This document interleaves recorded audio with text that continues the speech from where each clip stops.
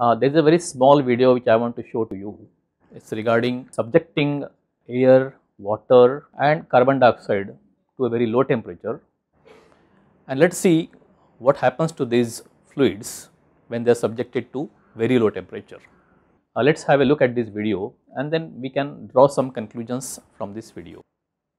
So, here we are trying to put water in this PVC pipe kind of a plastic and this PVC angle angled pipe will be closed from both the sides and then I will put this water in this PVC pipe in the liquid nitrogen bath. Liquid nitrogen as you know exists at minus 196 degree centigrade or about 77 Kelvin. This is liquid nitrogen which will be transferred from a specially made container of liquid nitrogen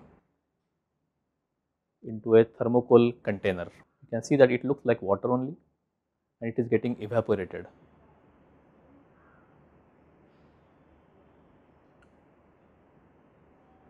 I will put this PVC sample filled with water in liquid nitrogen.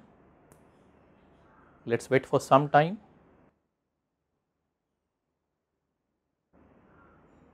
You can see liquid nitrogen boiling vigorously and what you see is a very important thing now and if you could observe that this material of PVC has got cracked. Obviously the water inside this has got frozen and you can see ice everywhere outside also and what you see here also inside is ice but noticeable is the fact that the cracks on this pipe.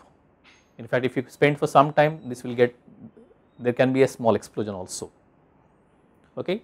Let us repeat the same experiment now using air as a medium and also we can have CO2 gas as a medium.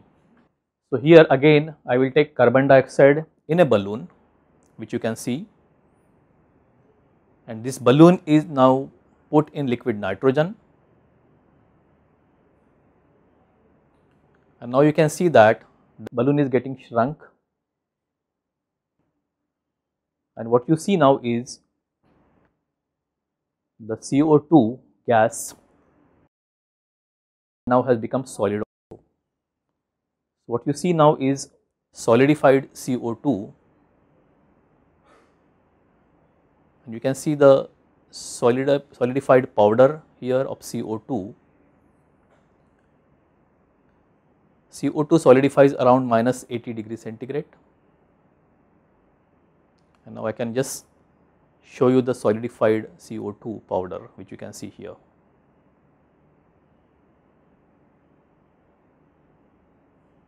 Now I am taking air instead of CO2 I will take air in the balloon and this balloon then again will be subjected to 77 Kelvin or minus 196 degree centigrade.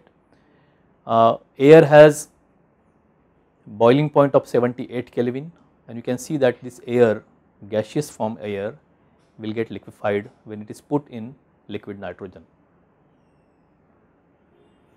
Also you can observe the shrinking of this balloon as the temperature of the air decreases. Alright, the volume will decrease. We can see inside this, this some amount of liquid that has gathered over there. This is liquid air. Alright because it was subjected to temperature which is lower than its boiling point the air in this balloon got liquefied. So what is noticeable in all this thing is when we had put water in this angled pipe the pipe got cracked because after freezing there were stresses generated inside the pipe. That means the frozen water actually increase its volume.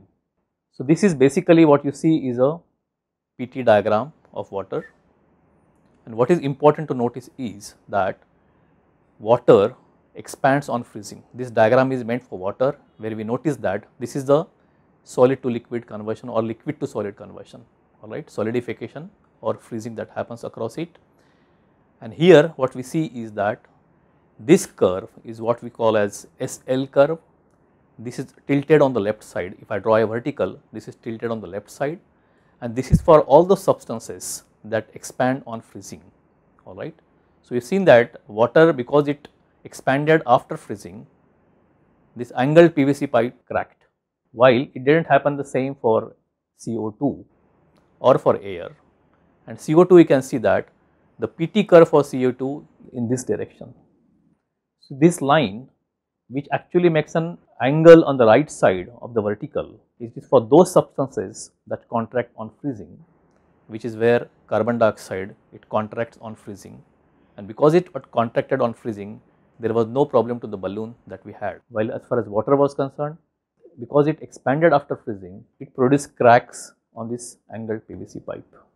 This is just a small video to give you some food for thought and what I believe is basically you can find its mathematical explanation in terms of dP by dt pressure change with temperature for both water and also for carbon dioxide and also for air.